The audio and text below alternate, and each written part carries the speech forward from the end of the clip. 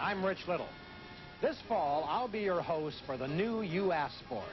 It's a program that will go anywhere, anytime to film a story that you, the viewer, requests. Just think of any interesting or curious person, any exotic place, unusual event, and our You Asked For It crews will travel there and get the story on your behalf. Now, you can get directly involved in helping us produce this television show. Send your request to You Asked For It, Box 710, Hollywood 90028. Now, here's the fun part. You may appear on the show, and if we use your request, we'll send you $50. Gee, $50. Where do I send it? Well, funny you should ask. You asked for it, Box 710, Hollywood 90028.